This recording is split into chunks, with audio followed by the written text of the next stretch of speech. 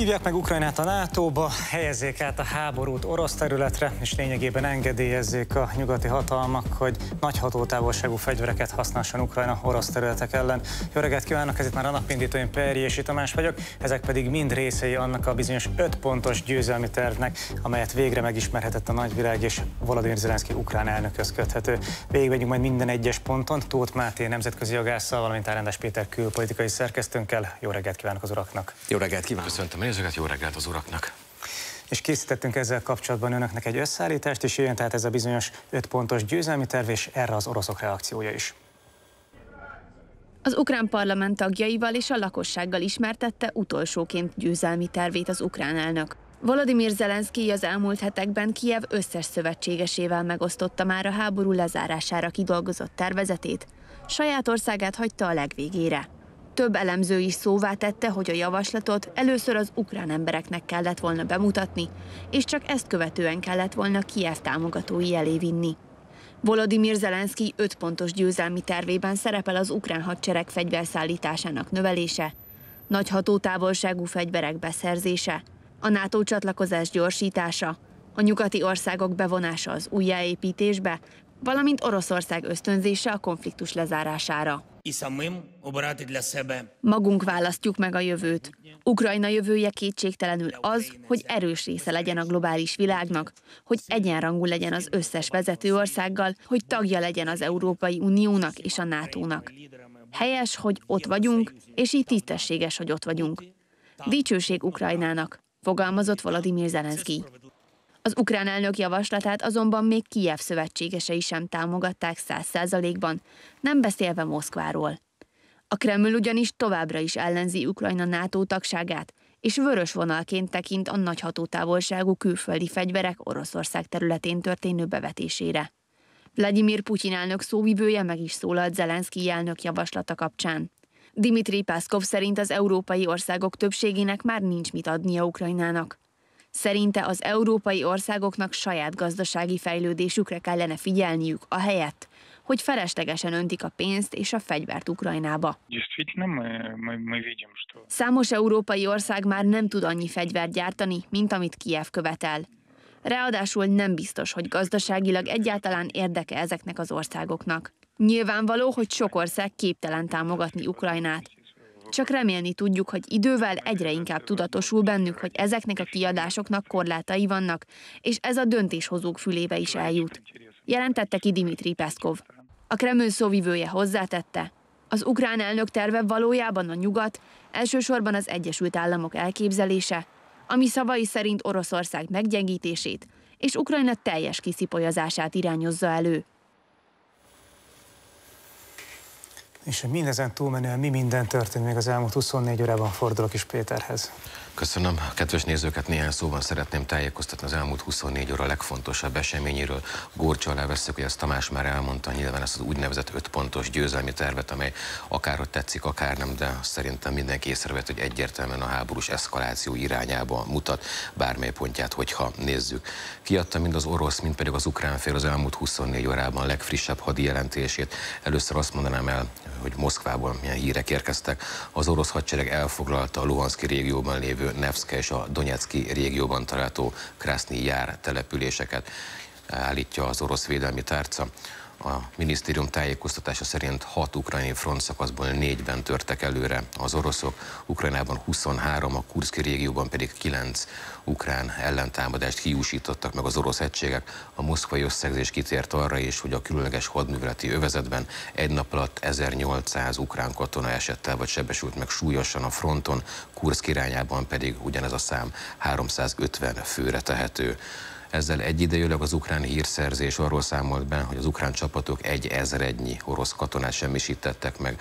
Harkov megyében egy nagyszabású sikeres műveletet hajtottak vége, végre kelet-ukrajnai város közelében. A katonai hírszerzés információ szerint Lipszi falutól északra egy erdős területen szabadítottak föl különböző térségeket, és itt testek fogságba többségében orosz katonák.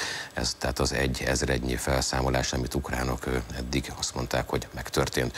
Az ukrán vezérka legfrissebb összesítés egyébként kitért arra, és a háború kirobbanása óta az orosz hadsereg ukrajni embervesztesége 673 ezer fő, mind a moszkvai, mind pedig a kijevi információk kapcsán szeretném azért azt hozzátenni, hogy ezeket a számokat a helyükön kell kezelni, hiszen ez egy retorikai háború és a fegyveres konfliktus mellett haladták már azt, hogy valóban egy öt pontos átfogó győzelmi tervet hirdetett, hát legutoljára a saját népével ismertette, ezt Volodymyr Zelenszky korábban körbehakniszta az egész világot, de a abszolút érintetteket csak legutolsóként tájékoztatta erről az úgynevezett győzelmi tervéről, tette ezt úgy, hogy a ország több mint 20%-a már az oroszok kezére került az elmúlt két és fél évben, és már gyakorlatilag nincs olyan ember, akit a frontra lehetne vinni, de hát ő győzelmi tervről beszél, és ezt tartani valamennyi pontja ennek a győzelmi tervnek azért a háború eszkalációnak irányába mutat a teljesség említésen nélkül az ukrán hadsereg fegyverszállításának növelését irányozta elő, a NATO csatlakozási folyamat felgyorsítását, hogy minél hamarabb a katonai szövetség tagja lehessen Ukrajna,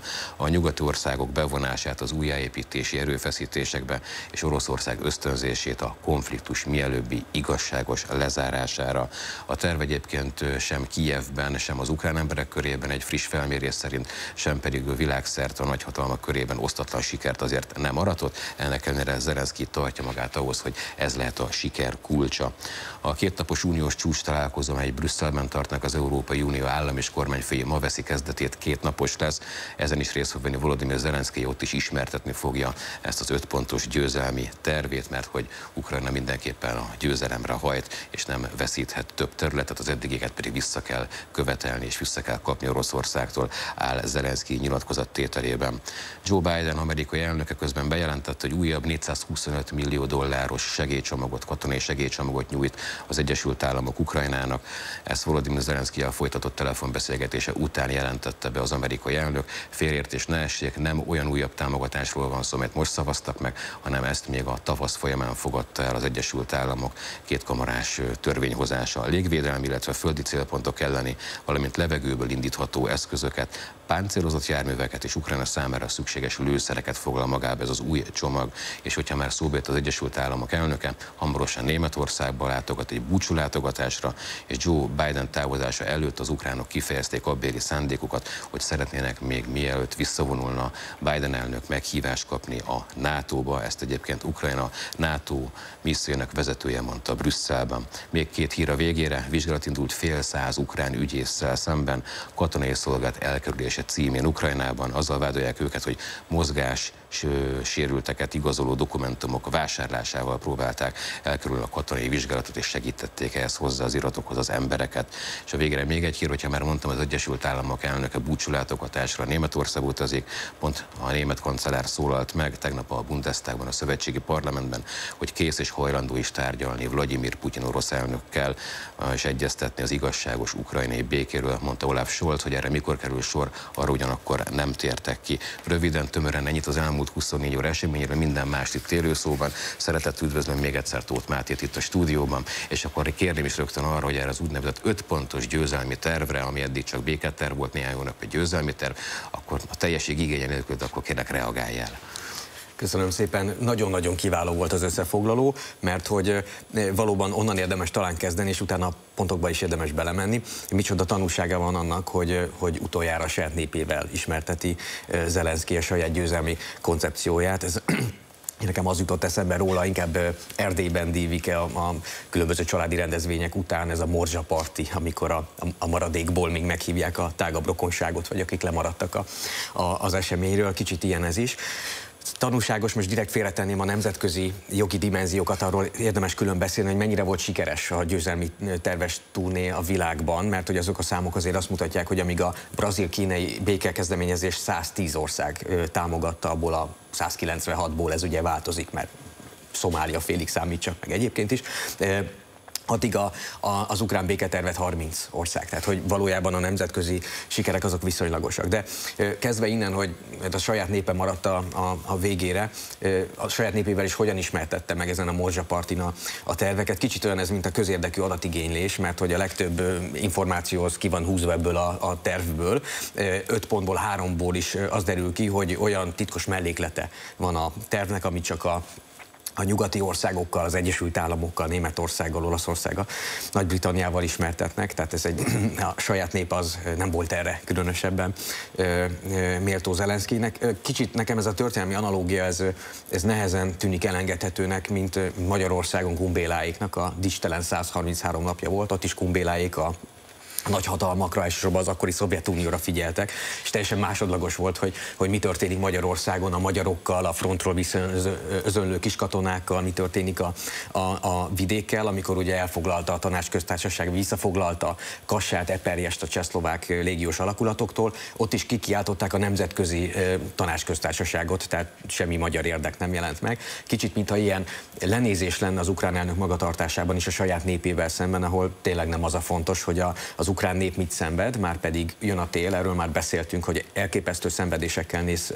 szemben, a, amíg megmaradt Ukrajna, illetve a kis katonák is.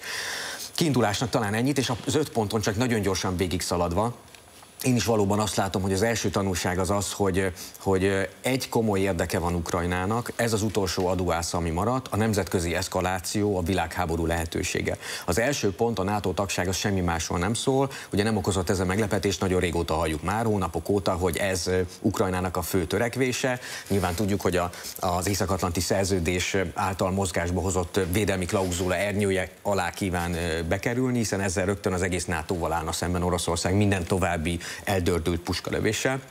Ez megengedhetetlen. Tehát ezt a NATO országok maguk sem tehetik meg, most túl a retorikai üzengetésen. Mindenki tudja, hogy ez a világháborút jelenti. A második pont is gyakorlatilag nagyon közel van ehhez. A, második pont, ami ugye arról szól, hogy oroszországi mélységi területeket is lőhessenek a nyugati fegyverekkel. Ez azért van nagyon közel ehhez, mert Oroszország világossá tette, hogy ez annak a határnak az átlépését jelenti, ami megint csak akár a nukleáris doktrinának is a mozgásba hozását eredményezhetni. Ugye a nukleáris doktrinának a, reakció szintjét szintjét, azt leszállította Oroszországnak, módosították a nukleáris doktrinát, aminek a következménye az az, hogy, hogy nem kell, hogy nukleáris fegyverrel rendelkező ország részéről érkezzen a támadás, vagyis Ukrajnának egy ilyen cselekedetbe simán mozgásba hozza a válaszreakciót. Érdemes ezt, ezt a horizontot is egyelőre félretenni, de hogy, hogy elgondolkodtató, hogy Ugye már önmagában ez a két pont világosan mutatja az eszkalációs szándékot, valahol logikus is, vagy érthető is talán, ezt nem morálisan értem, hanem tényleg csak a, a nyerszámítások mentén, és Zelenszkijék nyilván nyerszámítások mentén gondolkodnak most, hogy Ukrajnának valóban látva a fronteseményeket az egyetlen esélye az az, ha világháború lesz, és Ukrajna nem egyedül viseli a, a, az orosz medve mancsának a súlyát a, a saját vállán, hanem ez a teher eloszlik a, a NATO országokra, az a NATO NATO országok együtt erősebbek nyilván, mint, mint Oroszország. Ha nem sikerül nemzetközi eszkaláció irányába vinni az orosz-ukrán eseményeket, akkor így vagy úgy, diplomáciai úton november 5 után az Egyesült Államokban várható elnökválasztás eredménye függvényében, vagy a kifulladás okán, de, de véget ér a történet. És a maradék pontokat is, csak ennek a másik fele, ugye Oroszország nem tűnik ilyen, ilyen a kompromisszumtól elzárkózónak. Látjuk a három vörös vonalat. Az egyik pont Ukrajna NATO tagsága, tehát ezzel szemben megy az ukrán törekvés. A másik Donbass, a harmadik pedig a, a Krím térségnek a megtartása. Ugye ezen túlmenően az orosz irányból van alkú képesség. Ukrajna szempontjából ez a terv is világosá teszi, hogy nincs. És a további pontokat nézzük, ezeknek a pontoknak is titkos mellékletei vannak már, tehát nem látjuk, hogy pontosan mi mit jelent a gyakorlatban, de a további pontok a, a, az ukrán védelmi képességnek a megnövelése, hogy ez hogy történik, itt kiutalt Zelenszky arra, hogy, hogy ez csak négy nagy hatalommal osztotta meg, hogy pontosan mire gondol, az ukrán ö, ö, gazdaság talpraállítása, ami már az eddigi folyamatok alapján is vet fel kérdést. Ugye ez már a negyedik pont, hiszen látjuk, hogy Ukrajna teljesen eladósodott, és ez a szuverenitás kárára történt, alig ha nem. Azért a jogban, meg a politikában van ennek egy ilyen, ilyen váltószáma, mint a lejnek a bani, hogy, hogy azért az a gazdasági térnyerés, amit látunk a hitelezők részéről, vagy az Egyesült Államok részéről, vagy a nagy ö, óriás cégek részéről Ukrajnában, az bizony politikai befolyásra váltódik, és azért van egy olyan, olyan fordulat, ahol, ahol elveszíti már a maradék cselekvési képességét Ukrajna, alig ha nem ez történik jelenleg Ukrajnával nemzetközi jogilag. Tehát, hogy milyen további gazdasági térnyerés biztosít nyugati cégeknek Ukrajna, és hogy ez milyen befolyással jár a döntéshozatalba, hát jó lenne látni ezt a mellékletet, de semmi jóra nem érdemes számítani. És az ötödik pont, az meg azt mutatja, vagy leleplezi ezt az egészet, hogy ez az egész egy elképesztő vízió, az arról szól, hogy a háború után Ukrajnának, a győztes Ukrajnának mi jár a világban, és hol látja Ukrajna saját helyét, már NATO tagként és egy, egy, egy megvert Oroszország üszkös romjain a, a NATO e, olyan tagjaként látja magát, aki harctéri tapasztalatok okán leváltaná az Európában állomásozó amerikai csapatokat. Tehát képzeljünk el egy Rammstein katonai bázist, ami Németország megszállásának a szimbóluma, ukrán katonákkal, 30 ezer ukrán állomásozó katonával. Most látva az, hogy a tét valójában az, hogy összeroppan-e Ukrajna, és 2025-ben teljes vereséget szenvede, ehhez képest arról álmodozni, hogy hogyan masíroznak ukrán csizmák Németországban, illetve a mostani amerikai katonai bázisokat hogyan töltik fel amerikaiak helyett ukrán katonákkal, elképesztő. Tehát amilyen kárt tett Észak-Kelet Magyarországon a Herbál, ahhoz képest nehéz elképzelni, hogy milyen olyan szer lehet Ukrajnában, ami még ennél is elképesztőbb károkat tud okozni, ilyen halucinációkat. Tehát ez a valóságtól való elképesztő elszakadtságát mutatja a tervnek. Tehát röviden talán nyitásnak öt, az öt pontról Ennyit.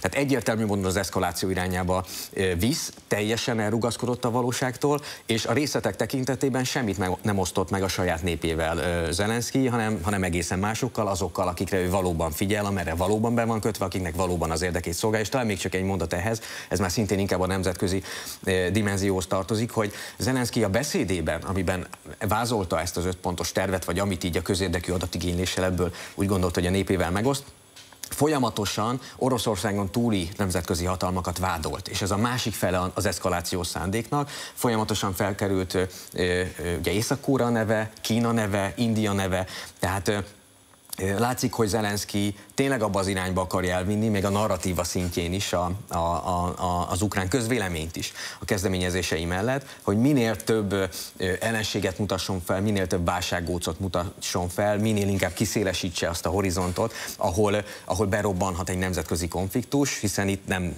nem leegyszerűsíti a képletet, ami azért matematikában feladatunk volt középiskolában, hogy mindig a számlálóból, nevezőből, meg az egyenlet két oldalán vonjunk le, egyszerűsödjön le, a konfliktus itt is Oroszországra, ő ellenkezőleg ő abba érdekelt, hogy még itt is ott is írjunk hozzá, pontosan ez az eszkalációs spirálnak a szándéka, ami ezen túl ugye nem lehet kérdés.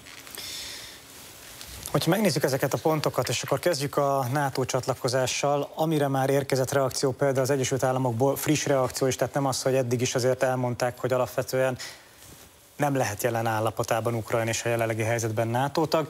Julian Smith beszélt az amerikai NATO nagykövet arról, hogy egy hamar továbbra sem tervezik azt, hogy meghívják a NATO-ba Ukrajnát, hiába ez az első pontja a győzelmi tervnek, ugyanakkor már rálépett arra az útra Ukrajna, hogy egyszer majd NATO tag lehessen. Ez az egyik, amit eh, mindenféleképpen szeretném kérni, hogy majd kommentáljon. A másik pedig az, ami talán egyel aggasztóbb is lehet, aztán majd meglátjuk, hogy valóban aggasztó-e, hogy egyeztetett egymással Alexander Szirszki a ukrán vezérkari főnök, illetve Sir Tony Redekin admirális, aki pedig az Egyesült Királyság vezérkari főnöke, és Szirszki azt mondta ezt követően, hogy a britek most vizsgálják azokat a lehetőségeket, amelyekkel gyakorlatilag ezt a győzelmi tervet valóra lehetne váltani. Tehát megvitatták, hogy hogyan lehetne akár csapást mérni, olyan orosz területekre, amelyek határmentek, vagy akár mélységi területek, és hogy a britek most végig gondolják ezt, hogy ebben ők hogyan tudnának segíteni.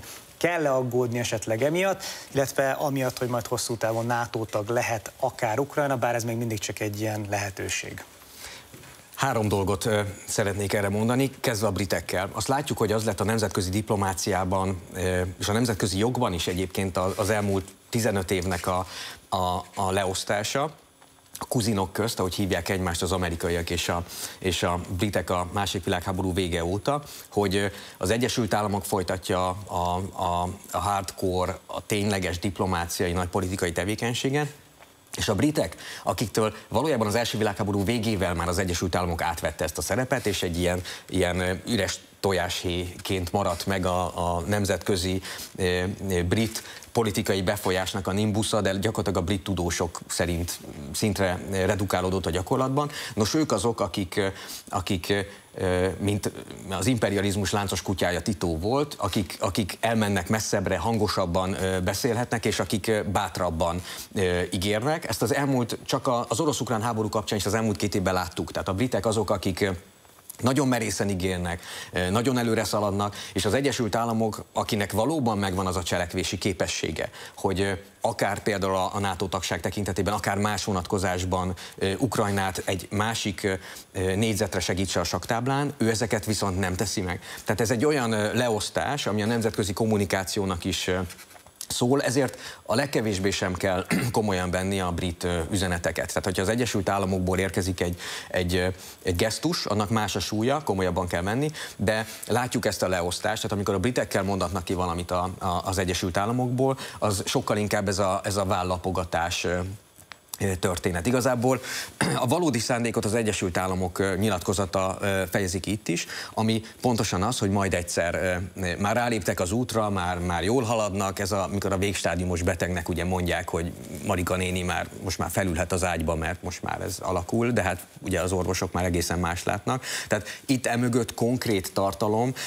nincsen. Kicsit olyan ez, mint amikor ugyanezt csinálták Magyarországgal, ugye a rendszerváltás után az Európai Unió elkezdődött a a párbeszéd, a társulási megállapodás ugye 94-ben alá sikerült írni, az is több év eredménye volt, onnan még 10 év volt a, a magyar EU-s csatlakozás, és addig folyamatosan hitegettek minket, meg hogy konvergencia kritériumokat kell teljesíteni, meg mindig volt valami plusz szempont, tehát ahol már eleve az első pillanatban is azt mondják, hogy hosszú lesz az út, ott aztán nagyon hosszú lesz az út.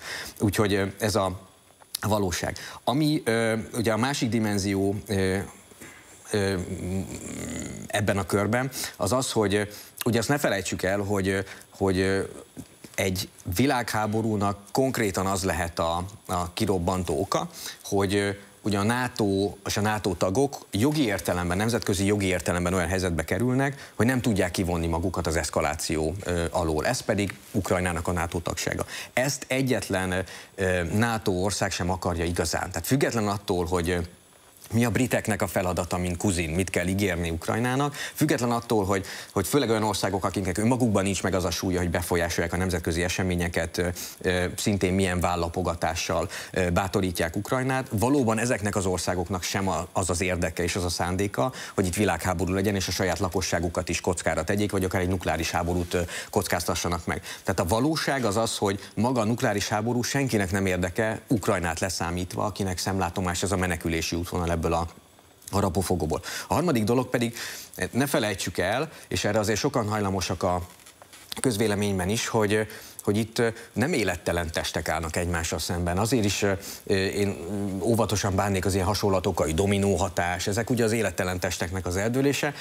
Itt, itt húsvér élő államokról van szó, ahol a, a, az akció mindig reakciót szül. És most is jelenleg is ezt látjuk, nem vélt, hogy a NATO csatlakozás ötletére ismét üzent a Kreml is, Oroszország is, és az se véletlen, hogy észak-koreai orosz együttműködés szövődik, az se véletlen, hogy Kínát és Oroszországot terelik össze ezek a nemzetközi mozgások, az se véletlen, hogy a a BRICS szintet lépett, ugye csak a gazdasági dimenziót nézzük, már a közös valután dolgoznak, tehát semmi sem úgy történik meg, ezek nem élettelen testek, amik csak így pufannak valahol a, a, a semmiben. Ugye volt száz évvel ezelőtt egy zseniális magyar biológus, Bauer Elvin, ő mondta azt, hogy az élő ö, ö, szervezeteket azt különbözteti meg az élettelentől, hogy folyamatosan a szabad energiájuk terhére mozgást, változást, munkát végeznek, ugye harcolnak a, a, a létezésben. Igazából gyakorlatilag nem hagyják a környezet történéseit reakció nélkül, tehát nem élettelen testként puffannak. Ez igaz egyébként az államokra is ugyanúgy. Ugye élő emberek építik fel az államokat, ezeket a felépítményeket. Ez pontosan ugyanígy történik, egy Oroszország, de akár egy Észak-Korea, egy Törökország nem hagyja válasz nélkül a környezet változásait, ideértve Ukrajnának a nemzetközi térben tartó mozgását.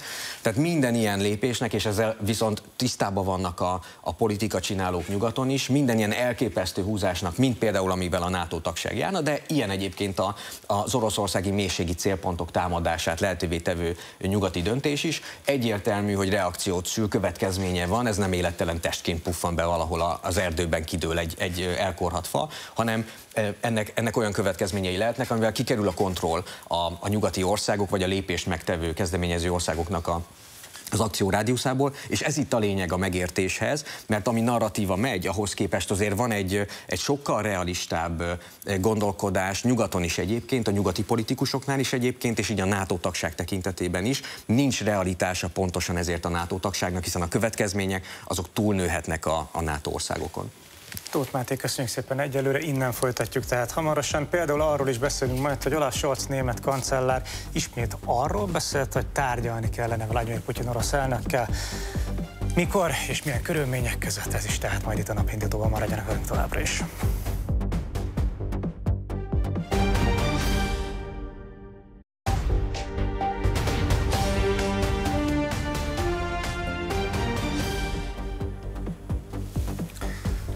Foglalkoztunk már azzal, hogy bemutatta most már a nagy nyilvánosság előtt is, elsősorban az ukrán parlament és az ukránok előtt Volodymyr Zelenszky ukrán elnök a győzelmi tervét, amely 5 pontból áll, 5 főpontból, de persze minden részletét még mindig nem ismerjük.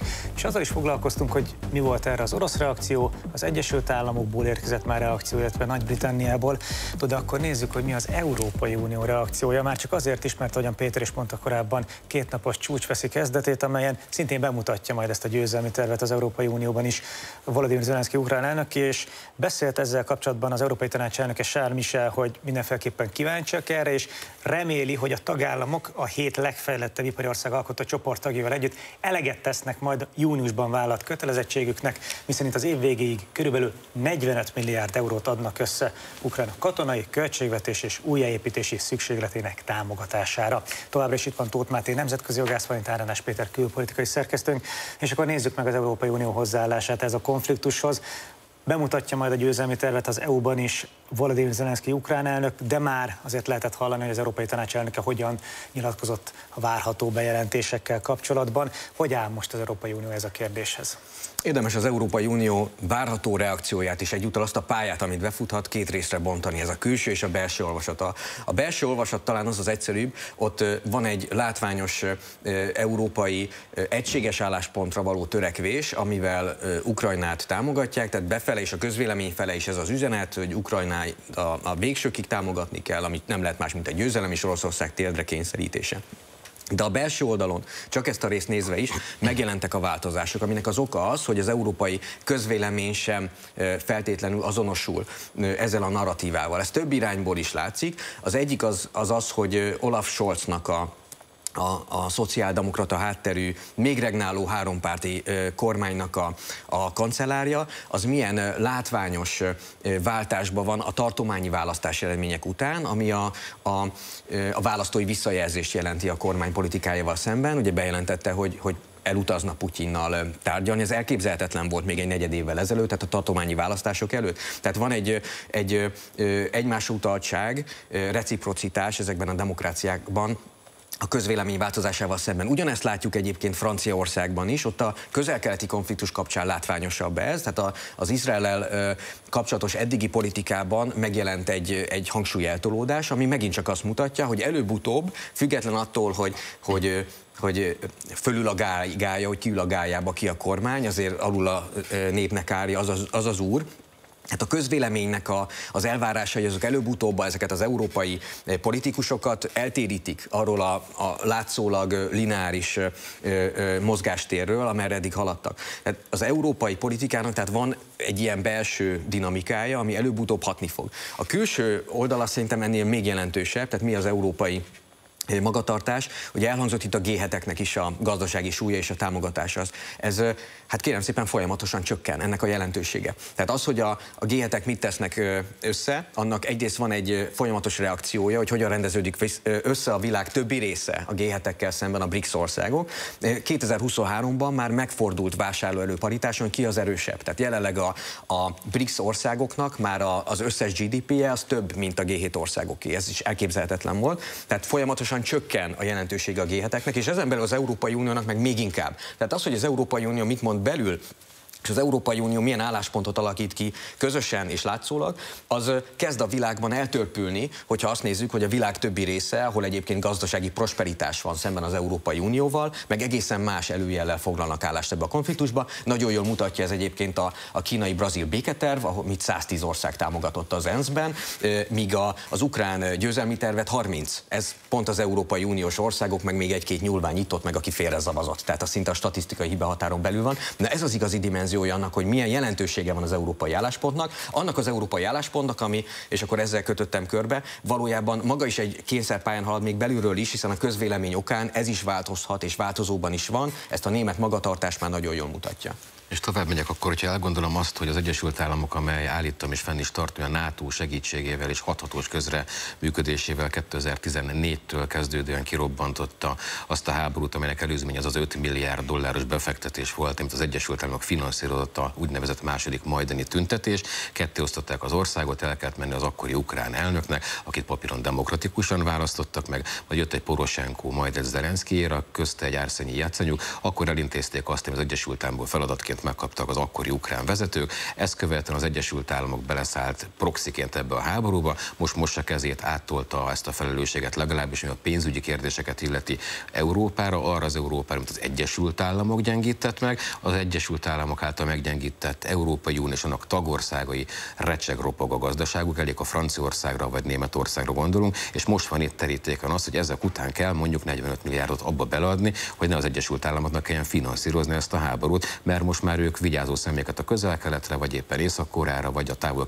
egyéb térségére vetik. Ha ebből indulunk ki, akkor mennyire fenntartható az európai országok részéről ez a fajta, hogy is mondjam, támogatása Ukrajnának. Tudjuk azt, hogy Orbán Viktor miniszterelnök elment februárban a falig, annak idén akkor nem lehetett más csinálni, bele kellett ebbe állni, mert különben nem kapunk uniós pénzeket. Hogy lesz ez akkor most ez a támogatás Európai Uniós részről, ha tudjuk, hogy a tagállamok így állnak gazdaságilag? Ez az álláspont teljesen helyes, ugyanis pontosan azt látjuk, hogy ebben a jelenlegi játékban, aminek a, a legszomorúbb része az a front, az orosz-ukrán front, a, egy, egy fokkal kevésbé szomorú része, de szintén szomorú része pedig az Európai Uniónak a, a, a nemzetközi politikában betöltött nagyon szolgai pozíciója. Itt egyetlen szuverén aktor van, az Egyesült Államok, ami azt jelenti, hogy senki más rajta kívül. Ennek az egyik oldala az az, hogy Ukrajnában valóban az történt, ami történt. Aki azt hiszi, hogy Ukrajna egy, egy teljesen szuverén nemzetállam, aki azt tesz, amit akar, az elképesztően el van tévedve, és ez már 2022. február 24-e előtt sem volt így. Tehát amikor egy ország olyan módon el van adósodva, egyrészt, ami, ami ugye egy 30 milliárdos, 30 milliárd dolláros kötvényadóság részt átcsoportosítottak jelenleg Ukrajna hitelezői, de ez kevesebb, mint másfél százaléka a teljes ukrán adósságnak. Tehát ebből látszik, hogy Ukrajna milyen szinten egy, egy adós ország, ott a hitelezők mondják meg, hogy mi történik. A hitelezők között között, második állítás,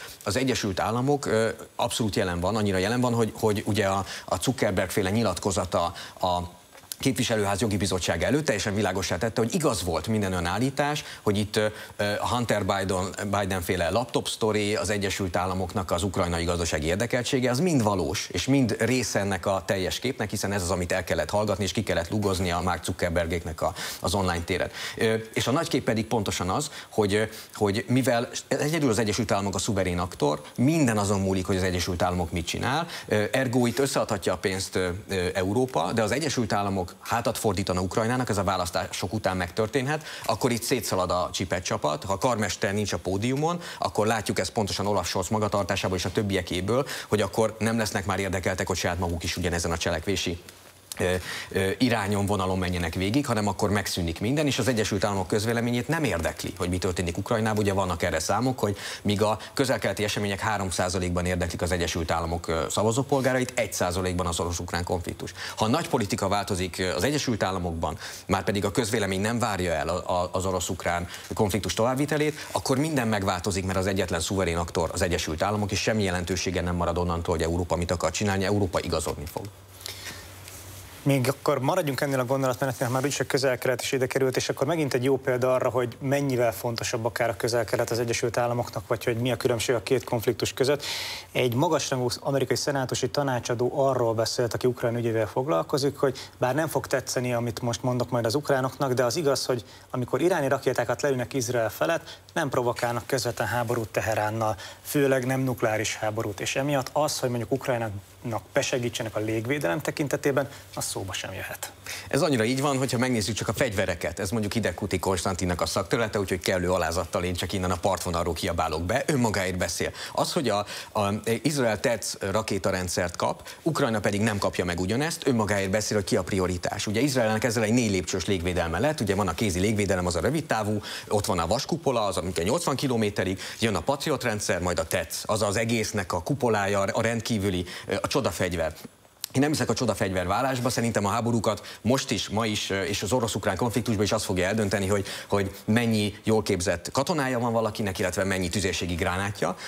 De pontosan Izraelnek a, a csodafegyverhez való hozzáférése, az pontosan jól mutatja, hogy hogyan árazzák a, a, az országok. Most a fegyverekről visszafordítva ezt a nemzetközi jogra és diplomáciára, ezt látom, és ez az Egyesült Államok magatartásában is a valódi Matrix, hogy itt három nagy konfliktus zónát kell összebékíteni az Egyesült Államoknak a saját horizontján. Ebben a legfontosabb Kína. Tehát a valódi ellenfél nem Oroszország, nem a közelkeleti helyzetnek a a rendezése, hanem a hosszú távú ö, ellenfél az Kína. Ez az elsődleges prioritás a háromszögnek az van a, a, a legmagasabb csúcsán. A második hagyományosan Izrael és a közel-kelet védelme.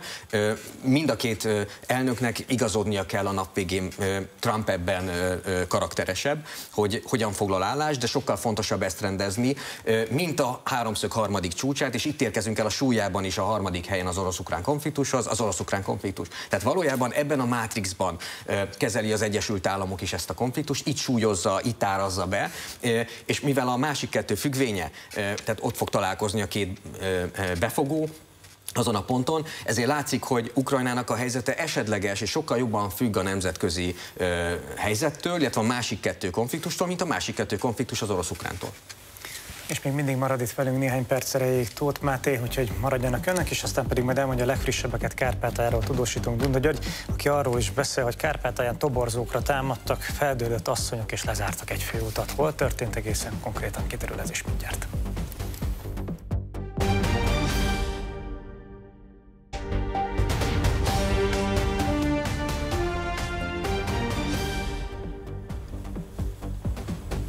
Ez itt továbbra is a napindító, és itt van Tóth Máté nemzetközi jogász, valamint Elrendes Péter külpolitikai szerkesztőnk. És akkor beszéljünk Észak-Koreáról, már csak amiatt is, mert Oroszország és Észak-Korea kapcsolata szintet lépett, ezt már tegnap is eh, itt a napindítóban elhangzott, ugyanis benyújtották Oroszországban azt a törvényjavaslatot, melynek értelmében a két ország között egyfajta NATO kötelék jött létre, vagyis hogyha megtámadják az egyik országot, akkor a másik az besegít a védekezésbe, és ez talán elsősorban majd Észak-Korea számára lehet gyümölcsöző, de hogy ez konkrétan mit is jelent abban a régióban, ami a háromszögnek talán a legfontosabb csúcspontja, fordulok is Tóth Mátéhoz, hogy ezt mondja el nekünk, kérem.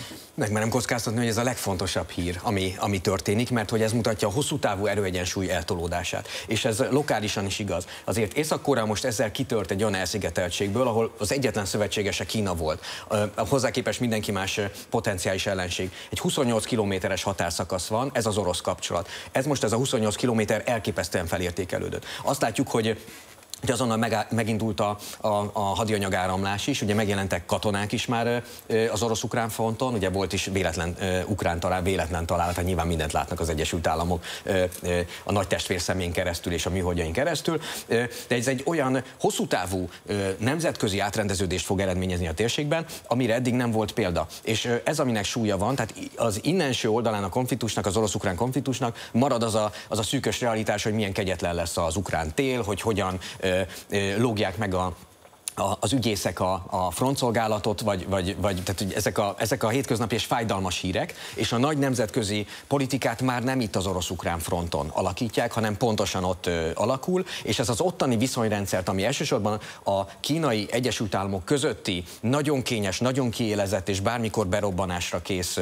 ö, legfontosabb válság, válsággócot jelentette, na itt egy új helyzetet fog eredményezni, ezzel észak jól lépett a saktáblán, én azt gondolom, nyilván Oroszországnak is ez ez érdeke volt, és ez megint abban a nagy képbe illeszkedik, csak zárásképp, amiről beszéltünk, hogy ez a hatás ellenhatás, hogy gyakorlatilag semmilyen erőegyensúly eltolódás nem marad következmények nélkül a világ másik részén, na és pontosan ez történik, akár az itteni ára, annak, hogy, hogy itt mit lépett az Egyesült Államok a proxy háborújában az orosz-ukrán fronton, az sokkal magasabb lehet ott a távol-keleten, a nap végén ezt évek múlva fogjuk meglátni.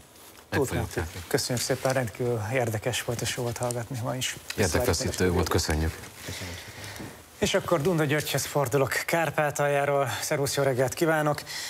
Bemutatta tehát Volodymyr Zelenszky Ukrajnának ezt a bizonyos öt pontos győzelmi tervét. Hogyan fogadták ezt Ukrajnában? Jó reggelt kívánok mindenkinek! Hát igen, tegnap az elemzők, a politikusok, mindenki erről beszélt. Hát ugye az öt pontot a részletezni gyakorlatilag felesleges is, hiszen valamennyi pont arról szól, hogy mit kell a nyugatnak, a nemzetközi közösségnek adnia ahhoz, hogy Ukrajna jobban nézzen ki ebben a háborúban, és konkrétan meg tudja nyerni. Nos, erre reagált két Poroshenko párti képviselő, Irina Heraschenko, illetve Alexei Honcsarenko, akik pont ezt kifogásolták, hogy mondván Ukrajna ezeket eddig is kérte, a nyugati partnerek nem igazán hajlandóak ezekben a kérdésekben, akár a NATO tagállam, a NATO meghívásban, akár abban, hogy Ukrajnának engedélyt adjanak a nagy hatótávolságú rakéták bevetésére, akár abban, hogy a környező NATO tagországok védjék Ukrajna légterét, izraeli példára, és még tovább sorolhatnánk, tehát egyelőre ezek az ukrán kievi kérések nincsenek teljesítve, viszont a fő kérdés az, hogy Ukrajna önmaga, önerőből mit tud tenni annak érdekében, hogy, hogy javuljon az ország helyzete, az ország védelmi, gazdasági kapacitása, és hát bizony ezekre a kérdésekre nem született válasz, hívták fel ellenzéki képviselők, Poroshenko párti képviselők, akik elmondták, hogy a győzelmi tervbe nyugodtan bele lehetett foglalni azt is, hogy Ukrajna mit tesz a korrupció ellen, ami gyakorlatilag felemészti az országot, hiszen látjuk a mozgósítás körül is naponta robbannak ilyen botrányok, vagy éppen mit tesz azért, hogy a mozgósítás az ne ilyen erőszakos, ne kényszersorozásos legyen, hanem esetleg önként jelentkezzenek az emberek, mivel motiválják őket, hiszen aki jelenleg katonának áll, az nem tudja, hogy mikor tud leszerelni, majd ha egyszer háború véget ért, tehát a tíz év múlva ér véget és életben marad, tehát a kilátások nagyon rosszak, ezzel kellene a demobilizáció tekintetében renget, rendet tenni, hívták el képviselők, és hát gyakorlatilag az ellenzéki képviselők nem repestek annyira a győzelmi tervtől, mint ahogyan a Bild német kiadvány ukrajnai haditudósítója Julian Röpke sem.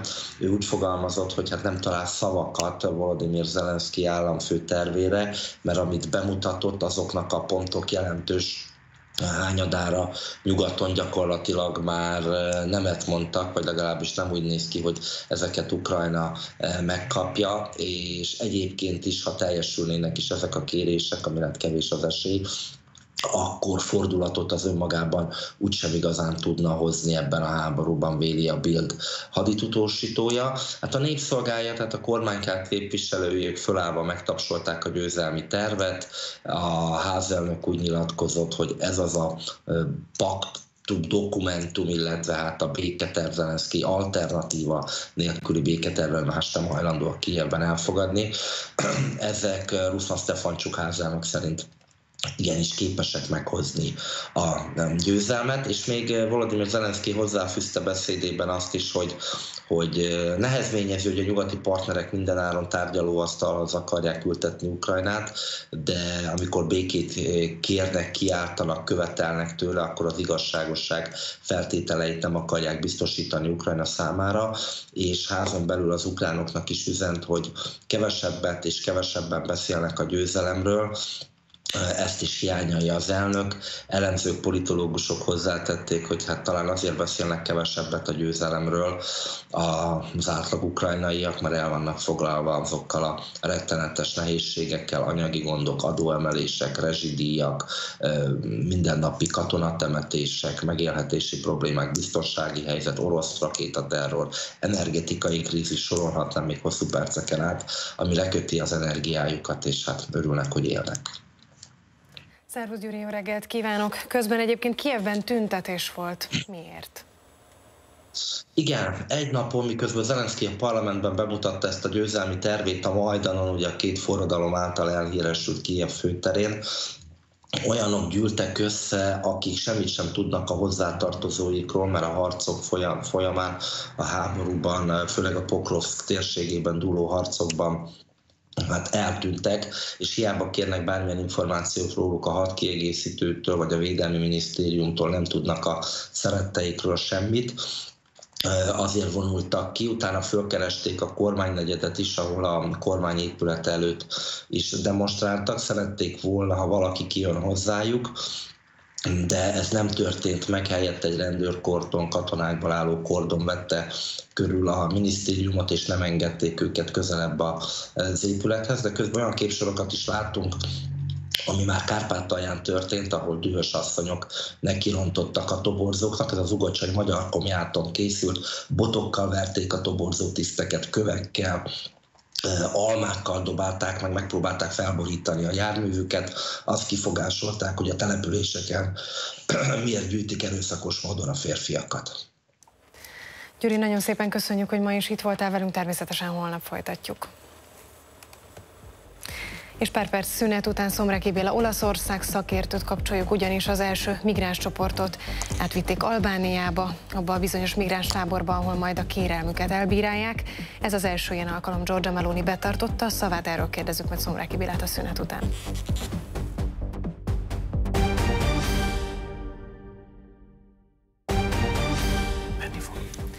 Folytatjuk műsorunkat, ez itt továbbra is a napindító. Itt vagyok Perjési Tamás kollégámmal és Árendes Péter külpolitikai szerkesztő kollégámmal, és Szomráki Bélát fogjuk Skype-on keresztül kapcsolni, állandó szakértőnket, Olaszország szakértőt.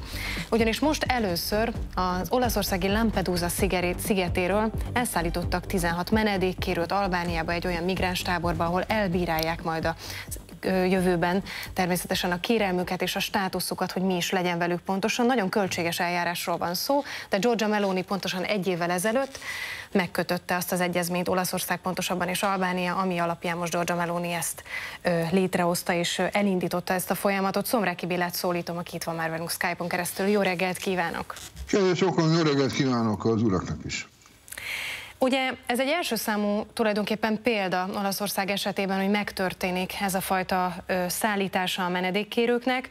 Kezdjük talán azzal, hogy ugye Magyarország migráns politikája ez picit beigazolódni látszik, hiszen Magyarország kerítést húzott, Magyarország nagyon sokat költött arra, és itt természetesen az anyagiakról is beszéljünk, hogy a menekültek, migránsok ne jöjjenek, nem menekültek, migránsok ne jöjjenek be Magyarországra. Az Európai Unió ezt élesen bírálta, de most ez esetben van-e valamilyen reakció az Európai Unió részéről Olaszországnak erre a fajta cselekedetére? Van a zavarodottság és a rémület, de ennél tovább azért nem mennek. Tulajdonképpen az Európai Bizottság kifejezett véleményt nem alkotott róla, hanem a, mondjuk úgy, hogy a szócsövei azok beszélnek helyette, ezek elsősorban a liberális baloldali képviselők, zöldek baloldaliak, még ilyen párt is van Olaszországban, akik természetesen ellenzik ezt az egész akciót, és úgy gondolják, hogy ez az európai értékek ellen van, hogy ez megcsúfolása az európai államnak, államnak, stb. stb. Tehát ez a, fölrakták a, a, a szokott lemezt, ahol amiben, amin valóban semmilyen érdekképviselet nem nyilvánul meg a saját önös érdekeiken kívül, ugyanis hogyha valóban ezeknek az embereknek az érdekeit képviselnék, az útra kelő migránsoknak, illegális migránsoknak, akkor lebeszélnék őket erről mindenféleképpen, és nem tennék őket ki a szarán való átkelés borzalmainak, és a földközi tengeren történő átkelés halálos veszélyeinek több ezer ember veszett bele a tengerbe az elmúlt időszakban. Úgyhogy én azt mondanám, hogy noha egy költséges vállalkozásról van szó, de mivel a funkciója az én véleményem szerint, azt sehol az életben sehol nem láttam, nem olvastam, egy ilyen madárijesztő funkció. Tehát ne próbálkozzatok azzal, hogy átjöttök, mert ha mi ö, olaszok, az olasz ö, parti őrség, vagy az olasz ö, ö, pénzügyőrség hajói elkapnak benneteket, és szó szerint a süllyedő vagy rozoga bárkáitokból felszálltok, átszálltok a mi hajóinkra, akkor ti nem Olaszországban és nem Európában, Európai Unióban fogjátok végezni, Európai Unióban ez egy fontos distinkció, hanem eljuttok Albániába, ahol szépen át lesztek vizsgálva először az egészségügyi szempontokból, aztán átviszünk ez egy Schengen nevezetű kikötő városkában zajlik. A tengertől talán 15 lépésre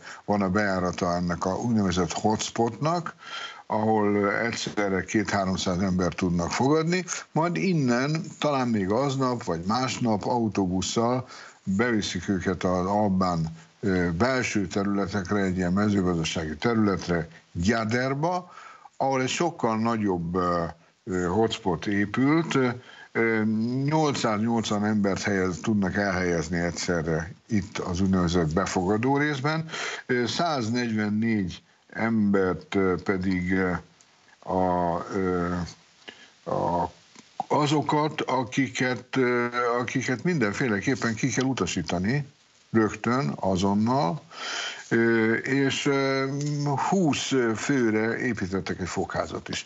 Na most lehet, hogy én túl részletesen adtam elő ezt a dolgot, az biztos, hogy, hogy abszolút módon nem lehet összeegyeztetni az európai normákkal, az európai törvényekkel teljes mértékben, de vannak ilyen joghézagok, amiket a olaszok meglovagoltak, ezért az Európai Unió is kicsit bizonytalan a dolog megítélésében. A különféle NGO-k, sorosféle szervezetek természetesen mobilizálták magukat.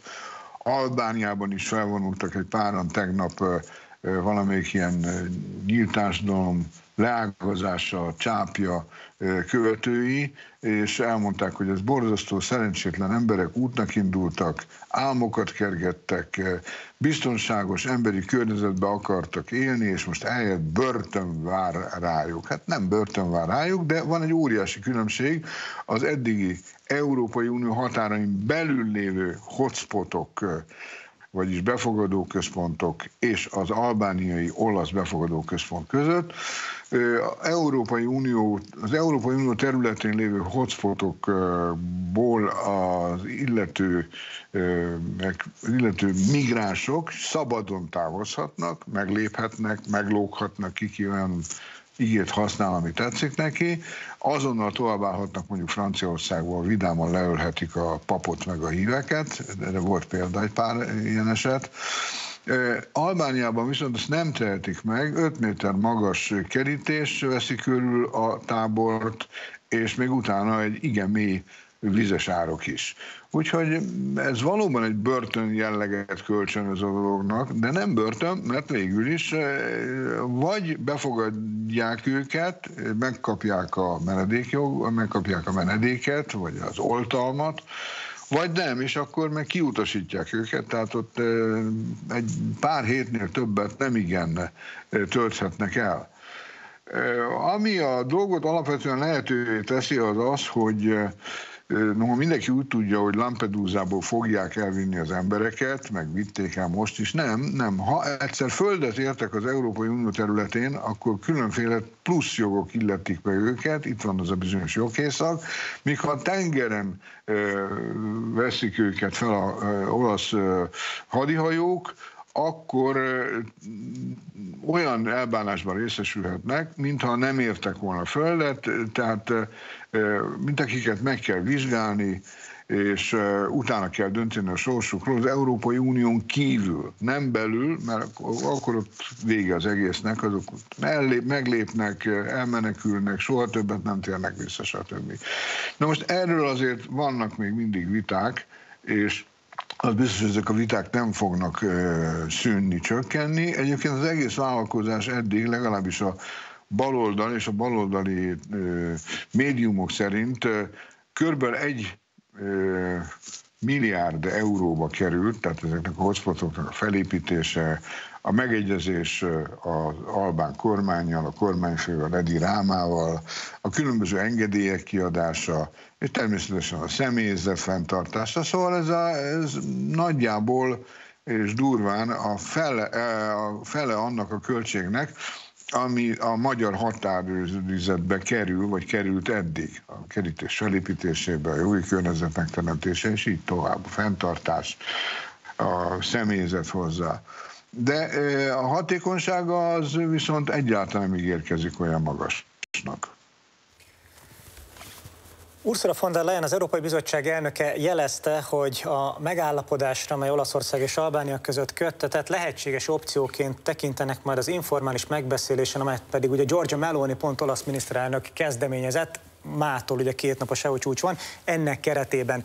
Számíthat-e arra Olaszország adott esetben, hogy ebből a pénzből, amit ön is idézett, ugye, hogy eddig mennyibe került, és hosszabb távon ki tudja még mennyibe kerül mindez Olaszországnak, hogy valamennyit viszont lásson, mert ugye, ahogyan ön is utalt rá, Edi Rámá Albán miniszterelnök konkrétan így fogalmazott, Ezeknek a központoknak az építéséhez és irányításához egyáltalán semmi köze az albán kormánynak, ez nem a mi felelősségünk, tehát valóban a teher az Olaszországra hárul.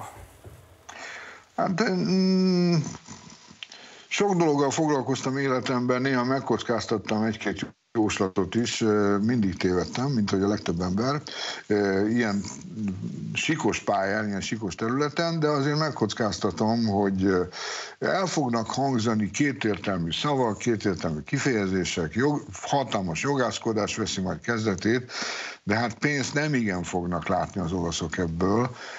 Annál több kritikát, előbb-utóbb előjön az a bizonyos szindróma, hogy a Georgia Meloni azért mégsem a Mikutyán kölyke, talán nem kéne ilyen indirekt módon támogatni, épp elég, hogy bevettük az olasz, az Georgia Meloni pártjából exekutív elnökhelyettesnek Georgia Meloni jelöltjét, Raffaele Fittót az Európai Bizottságba, Úgyhogy nem kéne talán ezt a továbbiakból forszírozni, úgyhogy én nem látok ebben olyan nagy támogatási kényszert az Európai Unió részéről. Ugyanakkor pedig azt is látni kell, hogy az egész vállalkozás hatékonysága, hogy az előbb befejeztem a első körmondataimat, hát az nagyon kétséges, mert végül is Egyszerre mm, körbeül ezer ember tudnak itt, ott, amott elhelyezni átmenetileg, ez havonta kb. 3000 embert jelent. Igen, ám, de hogyha a kiutasításra váró embereket nem tudják visszaszállítani, mert a, azok az országok, amelyekből elindultak, nem fogadják őket vissza, egyszerűen megtagadják ezt a lehetőséget. Ezt a lehetőséget, akkor nem tudnak velük mit csinálni. Előbb-utóbb dagadni fog a szám, az albánok kikérik maguknak, hogy itt nem lehet kérem szépen egy, egy ezres, 1500-as befogadó központban tízezer embert őrizni, egyáltalán mindenre, közbiztonságra, mindenre veszélyes, úgyhogy nem lesz ez egy könnyű, könnyű vágta, egyfelől, másfelől pedig kiokosodnak az embercsempészek is. Most ugye egy kicsit, ha lehetett is számítani rá, de azért nem gondolták, hogy ennyire gyorsan el fognak kapni 10 plusz 6, összesen 16 embert, 10 bangladesit és 6 egyiptomit, mert amikor már rájönnek arról, hogy miről szól ez az egész ügy, hogy a nyílt tengeren elkapunk valahol, akkor meg fogják mondani, hogy gyerekek, amikor jönnek a olasz partőrség hajói, dobjatok be minden dokumentumot a tengerbe. Hát ki az, aki meg tudja állapítani ezek után, hogy az illető valóban a biztonságos országból jön-e, mert az egyik feltétel az, hogy biztonságos országból kell, hogy érkezzen a tengerre, és a tengeren kell neki segítséget nyújtani, vagy elszállítani Albániába, hogy nincsenek egy kitéve esetleg hazatérésükkor életveszélynek, például azzal, hogy homoszexuálisnak deklarálják magukat, és akkor nem lehet őket visszaküldeni. Úgyhogy azt hiszem, hogy ez a dolog ez legfeljebb az első időkben, mondom, egy ilyen madárijesztő szerepet tölt be, ne gyertek, mert nem fogtok bekerülni az Európai Unió területére. Egyébként pedig épp a napokban tört ki hatalmas botrány itt a szomszédunkban, hogy hogy lehet visszaélni ezekkel a különböző, a vulnerabilitással, a, sé, a sért lehetőséggel, a, esetleg az életveszélyt meglebegtetve. Az, hogy egy egy Mohamedán vallású ember, aki talán Oroszország területéről érkezett, azt vallotta, hogy ő homoszexuális, tehát hogy visszaküldik őt, akkor, akkor sajnos az életének annyi. Ezért gyorsan megváltoztatták a elbírálást, és azt mondták, hogy jó, hát akkor jöjjön. Majd az illető azt mondta, jó, akkor most családegyesítés, családegyesítés címén hozom a feleségem és az öt gyermekem.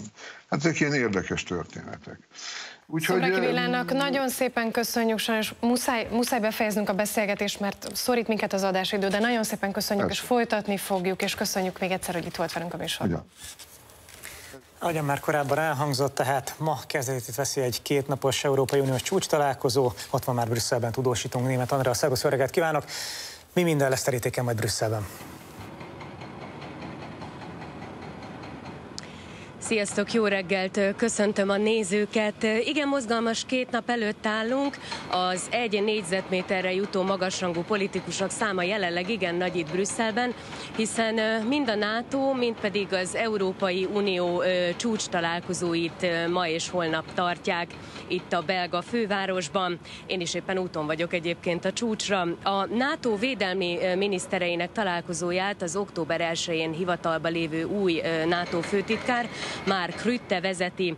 Főbb témák itt várhatóan a NATO védelmi készültségének, illetve az ukrajnai háborúnak az állása. Itt előzetesen annyit jegyeznék meg, hogy Mark Rutte nemrégiben úgy nyilatkozott, hogy fokozni kell, illetve a NATO-nak többet kell tennie Ukrajna megsegítéséért, és felszólította a tagállamokat, a szövetségeseket, hogy fokozzák az Ukrajnának szánt támogatásokat. Ezzel párhuzamosan zajlik az uniós csúcs, vagyis az Európai Tanács ülése. Az Unió 27 tagállamának állam, illetve kormányfőinek a részvételével. A főbb napirendi pontok Ukrajna, a közel-kelet, a migrációs politika, a versenyképesség, valamint egyéb külpolitikai ügyek. A magyar álláspont egyébként ismert ezekben a témákban, legfőképpen Ukrajna és a migrációs témákban. Ukrajna tekintetében Magyarország korábban is úgy fogalmazott, hogy mind a NATO, mind pedig az Európai Uniónak elhibázott a politikája ebben a kérdésben. Magyarország békepárti és azonnali kétoldalú tárgyalásokat sürget.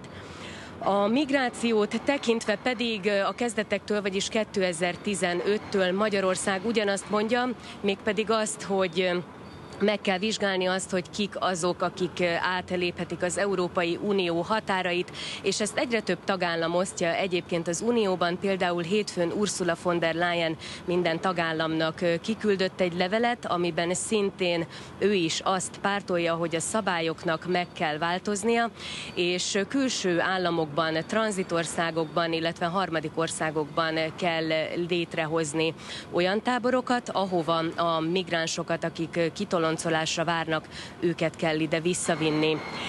Ma pedig korán reggel a Patrióták frakció tart majd zárt körű ülést, méghozzá a Magyar Házban ide várják a magyar miniszterelnököt, illetve Marine Le Pen sok más egyéb magasrangú politikussal egyetemben, és kollégáim már a helyszínen vannak, hogy mikrofon végre kaphassák őket. A történésekről egyébként egész nap beszámolunk, és minden híradóban jelen leszünk majd a fejleményekkel. Német Andrea, köszönjük szépen!